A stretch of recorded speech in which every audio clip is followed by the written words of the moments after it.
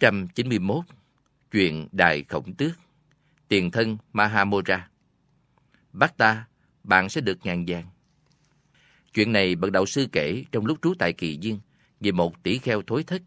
Bậc đạo sư bảo vị tỷ kheo này, có đúng như ta nghe nói là ông đã thối thất chăng? Thưa dân, Bạch Thế Tôn, quả đúng vậy. Ngài liền nói, này tỷ kheo, chẳng lẽ lòng tham muốn dục lạc này lại không đánh bại một người như ông sao? Trận cuồng phong hoành hành khắp núi Tu Di cũng chẳng nao núng trước một ngọn lá khô đâu. Ngày xưa tham dục này đã đánh bại các bậc thanh tịnh là những vị đã lánh xa 7.000 năm khỏi bội tham dục khởi lên trong tâm mình. Cùng với những lời này, Ngài kể một chuyện quá khứ. Một thủa nọ, khi vua Ramadatta trị vì tại Ba La Nại, Bồ Tát được sinh vào bụng một con công mái ở một vùng biên địa. Khi thai kỳ đã mãn, công mẹ sinh trứng ở một nơi nó kiếm mồi và bỏ đi xa. Lúc bấy giờ trứng chim công khỏe mạnh, chẳng bị tai nạn gì, nếu không có những mối hiểm nguy từ loài rắn hay các loài sâu bọ tai hại tương tự như thế. Vì vậy, cái trứng công này có màu vàng ống như chồi cây Canicara. Khi đó đã đủ thuần thục, thì từ sức nó nứt ra, và một con công xuất hiện có màu vàng ống ánh, với con mắt như trái guinea. Chiếc mỏ màu san hô và ba sọc đỏ chạy qua xuống cổ đến giữa lưng. Khi chim lớn lên, thân mình to bằng chiếc xe đẩy của người bán hàng, trông thật đẹp mắt, nên cả đàn công màu đen tụ tập lại chung quanh bầu chim công này làm chim đầu đàn. Một hôm, chim công đang uống nước trong hồ. Nhìn thấy vẻ đẹp của mình liền suy nghĩ. Ta đẹp nhất trong đám công. Nếu ta ở chung với chúng, với mọi nẻo đường đời, ta sẽ gặp nguy hiểm. Ta muốn đi xa đến vùng tuyết sơn, và ở đó một mình tại một nơi dựa ý. Thế là về đêm, khi cả đàn công lui về nơi trú ẩn riêng biệt kín đáo, công ra đi mà không ai biết, về phía khu vực tuyết sơn. Sau khi băng qua ba rặng núi, công vào ẩn thân tại rặng thứ tư. Đây là khu rừng mà công khám phá ra một hồ thiên nhiên rộng bát ngát phủ đầy hoa sen. Không xa, một cái đa cạnh một ngọn đồi. Công chúa đậu trên cành cây này. Trong lòng ngọn đồi này có một hang động kỳ thú. Và vì muốn ở đó, nên công chúa đậu trên một vùng đất phẳng ngay trước miệng hang. Lúc bấy giờ không ai có thể trèo đến chỗ này được, dù từ dưới lên hay trên xuống. Cho nên nó tránh khỏi mọi nỗi lo sợ về chim muông, mèo rừng, rắn rít hay loài người. Đây là một nơi thích thú dành cho ta. Công suy nghĩ. Hôm ấy, công ở đó, và sáng hôm sau, bước ra khỏi hang. Công đậu trên đỉnh đồi, hướng về phía đông. Khi công thấy mặt trời lên, công tự dạy mình trong ngày sắp đến bằng cách đọc câu ca. Ngài đã hiện ra đến toàn tri. Sau đó, công đi kiếm mồi. Buổi chiều, công lại trở về đậu trên đỉnh đồi hướng về phía tây. Và khi nhìn thấy mặt trời biến mất dạng, công tự dạy mình trước màn đêm sắp buông xuống bằng cách đọc câu ca. Ngài đã lặng kia đến toàn tri. Bằng cách ấy, cuộc đời công cứ trôi qua. Xem lại tiền thân, số 159, tập 2, Mora Zataka. Xong, một hôm có người thợ săn ở trong rừng, bất chợt thấy công đang đậu trên đỉnh đồi ấy và trở về nhà. Khi lão sắp chết, lão bảo với con trai về chuyện ấy. Này con, trong rặng núi thứ tư của dãy kia, trong rừng có một con công màu vàng ánh. Nếu nhà vua muốn có một con công như vậy, thì con biết nơi kiếm nó rồi đấy. Một ngày kia, chánh hậu của vua Ba La Nại tên là Khema, Thái Hòa, nằm mộng về tảng sáng, và giấc mộng diễn ra như thế này. Một con công màu vàng ống đang thuyết pháp và bà chăm chú nghe rất quan hỷ. Khi công đã thuyết pháp xong, liền bay lên ra đi. Bà dội kêu to. Kìa chú công đang chạy thoát, hãy bắt công lại ngay. Và trong khi bà thốt lên các lời này, bà liền thức dậy. Khi tỉnh lại, bà biết đó chỉ là giấc mộng. Và suy nghĩ, nếu ta trình đức vua, đó là cơn mộng, thì ngài sẽ chẳng quan tâm đến. Song nếu ta bảo đó là niềm mong ước của một thai phụ, thì ngài sẽ lưu ý ngay. Thế là bà liền giả bộ làm như thể bà đang khao khát một thứ gì đó theo cách thông thường của một thai phụ và nằm xuống. Nhà vua đến giếng bà và hỏi bà đau bệnh gì, bà đáp. Thần thiếp đang có một niềm khát vọng. Ái Khanh ao ước điều gì thế? Tâu chúa thượng thần thiếp ước ao nghe lời thuyết pháp của một con chim công màu vàng ánh. Xong, này ái khanh, ta tìm đâu ra được giống chim ấy đã chứ? Nếu không tìm được một con chim như vậy thì tâu chúa thượng, thần thiếp sẽ chết mất. Này ái khanh, đừng lo buồn chuyện ấy.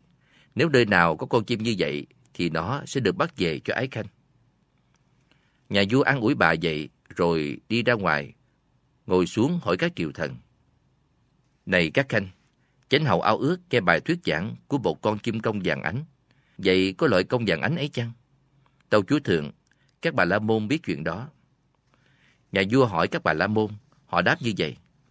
Tâu đại dương, theo những dần kệ nói về điềm lành của chúng thần, thì trong loài thủy tộc có cá rùa, cua. Trong các loài thú rừng thì có hưu, nai, thiên nga, công, trĩ. Các loài đó cùng loài người đều có thể sinh ra với sắc vàng ảnh. Sau đó nhà vua triệu tập tất cả thợ săn trong quốc độ lại và hỏi họ có bao giờ từng thấy con công vàng ánh chưa? Bọn họ đều trả lời không. Trừ người thanh niên đã được cha mách bảo về chuyện ông ta đã thấy. Gã đáp, chính hạ thần chưa thấy, song thân phụ hạ thần đã bảo cho thần biết một nơi có thể tìm ra một chúa công vàng ánh. Nhà vua liền bảo, này hiền hữu, đây là chuyện sống chết của trẫm và chánh hậu. Vậy hãy cố bắt lấy công ấy đem về đây. Nhà vua cho gã thật nhiều tiền bạc và bảo gã ra đi. Gã ấy đem tiền về cho vợ con. Rồi đi đến nơi kia gã thấy bậc đại sĩ. Gã đặt bẫy bắt ngài. Mỗi ngày gã tự nhủ thầm là chắc chắn sẽ bắt được kim công. Tuy nhiên gã chết đi mà chẳng bắt được công ấy. Rồi chánh hậu cũng từ trần mà không thỏa tâm nguyện. Nhà vua nổi trận lôi đình ngày phán. Ái hậu của trẫm đã qua đời vì chim công này. Rồi nhà vua truyền lệnh chép câu chuyện ấy và một phiến bằng vàng, kể rằng trong rặng thứ tư của khu vực Tuyết Sơn có con chim công vàng sống ra sao, hễ ai ăn được thịt nó sẽ trường xuân bất tử. Nhà vua đặt phiến vàng ấy trong kho báu và sau đó qua đời. Kế vị vua ấy, một vua khác lên ngôi. Đọc lời lẽ câu chuyện ghi trên phiến vàng nên ước mong được trường xuân bất tử. liền cho người thợ săn đi bắt chim công Xong nhà vua ấy cũng chết trước khi bản nguyện giống như vua kia. Cùng cách ấy, sáu vị vua kế tiếp qua đời và sáu người thiện xạ chết đi mà không được kết quả gì ở khu vực tuyết sơn cả. Xong người thợ săn thứ bảy được nhà vua thứ bảy phái đi, không thể nào bắt được chim suốt bảy năm liền. Mặc dù mỗi ngày gã đều mong đợi chuyện ấy, nên bắt đầu suy nghĩ. Không biết tại sao lại không thể bắt được đôi chân chim xa vào bẫy. Vì thế, gã ngắm nghía chim, thấy chim cầu nguyện để được phù hộ mỗi buổi sáng tối đều đặn. Và gã lý luận về trường hợp này như sau. Không có con chim công nào khác ở vùng này. Rõ ràng đây đúng là chim công sống đời thanh tịnh. Chính quy lực đời sống thanh tịnh của chim ấy cùng quy lực của thần chú hộ mệnh kia đã khiến cho đôi chân chim không bao giờ xa vào bẫy của ta được. Khi kết luận như vậy rồi, gã đi đến dùng biên địa, bắt một con công mái, mà gã luyện cho nó hót tiếng gáy mỗi khi gã búng tay và xòe cánh múa mỗi khi gã vỗ tay. Gã đem chim mái trở về, rồi đặt bẫy trước khi Bồ Tát đọc thần chú hộ mệnh. Gã búng tay và làm cho công mái gáy. Công trống nghe tiếng gáy ấy, lập tức ác dục, đã ngủ yên suốt bảy ngàn năm, bỗng dùng dậy như con rắn hổ mang, dương màu lên khi bị đánh. Bị ác dục làm cho mê muội, chim công không thể nào đọc thần chú hộ mệnh nữa, mà dội vàng bay về phía chim mái. Từ trên không, chim hạ cánh xuống, đặt đôi chân ngay vào bẫy. Chiếc bẫy kia suốt bảy ngàn năm chẳng đủ quy lực bắt chim, nay đã kẹp chặt lấy chân chim thần. Cái người thợ săn thấy chim nằm toàn ten ở cuối sợi dây, gã nghĩ thầm. Sáu người thợ săn trước đã không thể bắt được chim công chúa này. Và trong bảy năm liền, ta cũng không bắt được nó. Nhưng hôm nay, ngay khi chim đâm ra si tình chim mái, thì nó không đọc thần chú được, nên xa vào bẫy và bị bắt. Nó đang nằm toàn ten với cái đầu lộn ngược kia kìa. Ôi sinh vật mà ta đã làm hại kia, thật là đức hạnh. Nếu ta giao một linh vật như vậy cho một người khác, chỉ vì bị mua chuộc tiền bạc, thì thật là không xứng đáng. Danh vọng của vua chúa có nghĩa gì đối với ta đã chứ? Ta muốn thả chim ấy bay đi. Nhưng rồi gã lại nghĩ, đó là một thần điểu kỳ dị phi thường. Nếu ta đến gần nó, nó sẽ tưởng ta đến để giết nó. Nó sẽ lo sợ cho tính mạng của mình mà dùng dãy, thì có thể gãy chân hay cánh. Vậy ta không muốn đến gần nó, mà chỉ đứng ẩn mình và cắt đứt cái thòng lọng bằng một mũi tên bắn ra. Sau đó, chim muốn đi đâu tùy ý. Thế là gã đứng ẩn mình, dương cung lên, lắp một mũi tên vào dây và kéo ra sau. Bây giờ chim công trống suy nghĩ, người thợ săn này đã làm ta mê mệt vì ái dục. Và khi thấy ta bị xa bẫy rồi, lại không còn quan tâm đến ta nữa. Gã ấy ở đâu kìa? Chim công cứ nhìn hướng này hướng nọ, và thấy người kia đứng dưới cây cung sẵn sàng bắn. Chắc chắn gã muốn giết ta rồi ra đi. Chúa công suy nghĩ và sợ chết, nên ngâm dần kệ đầu xin tha mạng. Bắt ta, bạn sẽ được ngàn vàng. Bắt sống, xin đừng bắn bị thương gian bạn đem ta về Chúa Thượng, chắc Ngài sẽ thưởng thật giàu sang. Ngay vậy, người thợ săn suy nghĩ, đại khổng tước này tưởng ta sẽ bắn nó bằng mũi tên đây. Ta phải trấn an nó mới được. Vì mục đích ấy, gã ngâm dần kệ thứ hai. Trên cung, ta chặn ráp tên này. Để bắn chim, công chúa ở đây. Ta muốn cắt dây thòng lọng ấy, để chim tùy ý, hãy xa bay. Nghe lời này, chim công chúa đáp qua hai dần kệ. Bảy năm theo đuổi thợ săn này, đối khác bạn cam chịu tháng ngày. Bạn muốn gì, nay ta mắc bẫy, vì sao muốn thả để ta bay? Hiển nhiên, mọi vật được an lành. Bạn nguyện từ đây bỏ sát sinh. Mắc bẫy thân ta, tuy thế bạn, muốn ta được thả để bay nhanh. Thợ săn tiếp theo. Khi người từ bỏ sát quần sinh, nhờ nó muôn loài thoát hải kinh. Phước đức nào đời sau sẽ đến, việc này cổng tước đáp cho bình Công chúa, nhờ nó muôn loài thoát hải kinh. Khi người thề chẳng sát quần sinh, đời này nó được nhiều ca ngợi, thiên giới đời sau hưởng phước lành. Thợ săn, nhiều người nói chẳng có thiên thần, cực lạc đời này có thể mang. Sinh quả giữ lành ngay hiện tại, vì nhiều bậc thánh đã cho rằng thi ân là việc đầy ngu xuẩn, vì thế tôi thường đánh bẫy săn. Chim thú, bây giờ tôi muốn hỏi, lời kia xứng đáng để tin chăng? Lúc ấy, bậc đại sĩ quyết định giảng cho người này biết quả thực có đời sau, nên trong lúc Ngài đang nằm lủng lẳng ở cuối sợi dây, đầu lộn ngược xuống đất, Ngài ngâm dần kệ. Đôi dần nhật nguyệt rõ ràng ràng, đi khắp trời cao tỏa sáng quang. Người gọi là gì nơi hạ giới, thuộc về cõi khác hoặc trần gian. Người thợ săn ngâm dần kệ đáp lại. Rõ ràng nhật nguyệt thấy đôi dần, đi khắp trời cao tỏa ánh quang. Chúng chẳng thuộc về để hạ giới, mà về cõi khác miệng người trần. Lúc ấy, bậc đại sĩ bảo gã, vậy chúng đều sai lạc cả bầy. Những người gian dối nói như vậy. Chẳng gì duyên cớ gì đi nữa, lại bảo chỉ riêng thế giới này. Mang nghiệp quả lành hay quả dữ, còn xem bố thí việc ngu thay. Trong khi bậc đại sĩ nói, người thợ săn suy nghĩ rồi ngâm hai dần kệ.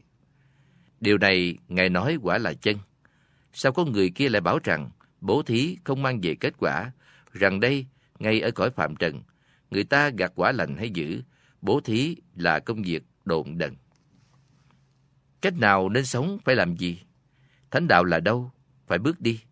Chúa công, xin Ngài cho lão biết, pháp môn khổ hạnh phải hành trì. Cầu mong lão được chim công chúa, cứu khỏi chìm vào địa ngục kia. Khi nghe vậy, bậc đại sĩ suy nghĩ, nếu ta giải đáp vấn đề này cho gã, thì cả thế giới này đối với gã thành ra trống rỗng và hư vọng. Lần này ta sẽ nói cho gã biết bản chất của các thánh giả bà la môn chân chính. Với ý định trên, Ngài ngâm hai vật kệ. Người truyền khổ hạnh ở Trần gian, chẳng ở nhà đâu, đắp áo vàng. Sáng sớm đi ra đường khất thực, không đi chiều tối chính hiền nhân. Đúng thời thăm các thiện nhân vậy, bạn sẽ vui lòng dẫu hỏi ai. Giải vấn đề gì chưa gì biết, cõi trên kia với cõi đời này. Khi nói như vậy, Ngài muốn cho kẻ kia phải biết kinh sợ cảnh giới địa ngục, còn người ấy đã đạt đến tri kiến viên mãn của một vị độc giác Phật, vì người ấy đã sống đến độ tri kiến sắp thành thục, như bước qua sen tròn đầy sung mãn, đợi chờ các tia nắng chiếu vào. Trong lúc người thợ săn nghe bài thuyết pháp của Ngài, ngay tại chỗ người ấy đang đứng, người ấy hiểu lập tức mọi yếu tố cấu tạo nên các vật hữu tình, tứ đại, thấu suốt cả ba đặc tính căn bản của chúng, đó là vô thường, khổ, vô ngã, và thâm nhập tri kiến của một vị độc giác Phật. Tri kiến trên của vị này cùng với việc giải thoát bậc đại sĩ khỏi cái bẫy kia xảy ra cùng một lúc. Vị độc giác Phật sau khi đã đoạn diệt mọi dục tham của mình, đang đứng trên bờ sinh tử cuối cùng, liền thốt lên cảm thán nguyện trong dần kệ này. Như rắn lột, quăng, lớp vỏ tàn. Lá khô, cây trúc lúc xanh dần. Hôm nay ta bỏ nghề săn bắn, mãi mãi xa lìa nghiệp thợ săn. Sau khi thốt lên ý nguyện cao cả của mình, dì ấy suy nghĩ, ta vừa được giải thoát khỏi các dây trói buộc của ác dục. Xong ở nhà ta còn rất nhiều chim đang bị giam cầm. Vậy làm thế nào ta giải thoát cho chúng đây? Vì thế dì ấy hỏi bậc đại sĩ. Tâu khổng tức đại dương, ta còn giam cầm nhiều chim tại nhà. Làm sao ta giải thoát cho chúng được? Lúc bấy giờ Bồ Tát là bậc toàn tri, có tri kiến tinh thông mọi đường lối và phương tiện hơn cả một vị độc giác Phật. Nên Ngài bảo, khi Ngài đã phá vỡ sức chi phối của tham dục và tham nhập tri kiến của một vị độc giác Phật, nhờ lẽ đó, Ngài hãy tuyên thệ điều chân lý, thì trong toàn cõi Diêm Phù Đề sẽ không còn sinh vật nào bị giam cầm nữa cả. Sau đó, vị kia vừa đi vào bằng cánh cửa mà Bồ Tát đã mở ra, vừa ngâm dần kệ này tuyên thệ một hành động chân lý. Tất cả chim nào ta đã giam, trong nhà ta có đến hàng trăm, nay ta trả cuộc đời cho chúng, về tổ bầy chim được thoát nạn. Lúc ấy, nhờ hành động thề nguyện chân lý kia, dù đã muộn, tất cả bầy chim cũng được thoát cảnh giam cầm, ríu rít liếu lo bay về tổ của mình. Cùng lúc ấy, khắp cõi Di Phù Đề, tất cả mọi sinh vật đã bị bắt đều được thả tự do. Không còn con vật nào sót lại trong cảnh giam cầm cả, dù chỉ là con mèo.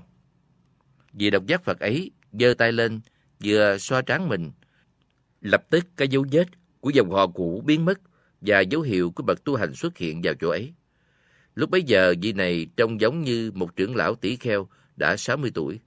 Đắp y đầy đủ, mang tấm vật cần thiết, bình bát, ba y, đai lưng, dao cạo, cây kim và cái lọc nước, cung kính đảnh lễ kim công chúa và đi diễu quanh ngài, thân hướng về phía hữu, rồi bay dục lên không gian, đến tận một hang động trên đỉnh núi Nanda. Chúa chim công cũng bay ra khỏi cái bẫy, kiếm mồi và trở về chốn ở của mình. Dần kệ cuối cùng do bậc đạo sư ngâm kể chuyện suốt trong bảy năm qua, người thợ săn đi quanh quẩn với chiếc bẫy trong tay và sau đó được giải thoát khỏi khổ đau nhờ chim công chúa như thế nào. Thợ săn xuyên suốt khắp rừng cây, tìm kiếm chúa công bẫy dưới tay. Đã giải thoát đau cho khổng tước khi vừa bị bắt giống ta đây. Sau khi chấm dứt pháp thoại này, bậc đạo sư tuyên thuyết các sự thật.